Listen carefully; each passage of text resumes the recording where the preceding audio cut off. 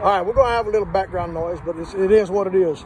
My question for you today is, what is the blade speed gonna be on this homemade sawmill at half throttle to three quarter throttle?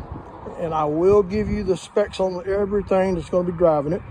You've got two big drive wheels right there, one on each side, they're 18 and three quarter. You got the the pulley in the back connected to the belt, connected to the front of the motor with a four and a half inch clutch. There is your other pulley. We got an inch and a quarter blade. We've got my old homemade sawmill blade guide rollers. And I'll make a few extras y'all guys need anybody needs to buy any of those dad burn things. Now, let's get back here to the motor. It's one of them old cheap Predators that you buy at Harbor Freight. Got electric start on it. And the size of that motor is 420 cc. Now again, she's not quite finished up yet, but I did crank it up and run it a while ago.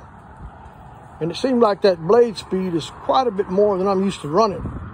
But out of the number of sawmills I have built in the past, I normally use Kohler motors, 14 horse around that range and it seemed like the blade speed was pretty good. I'm pretty sure I had almost the same setup. For some ungodly reason, this one seemed like it's running extremely fast. Might be the motor, I don't know.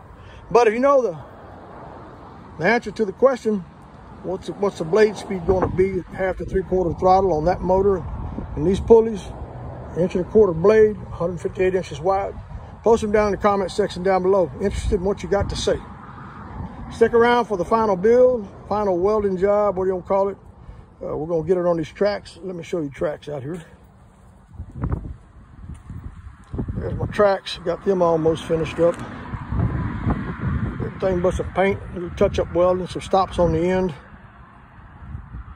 And then we're gonna put that old sawmill up on top and we're gonna see what it does. But again, I am concerned about that, that uh, blade speed.